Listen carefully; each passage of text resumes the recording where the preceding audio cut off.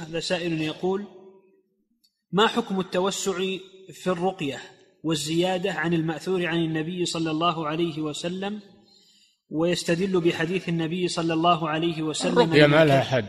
الرقية ما لها حد. تقرأ ما تيسر من القرآن و ومن الأدعية ليس لها حد. نعم.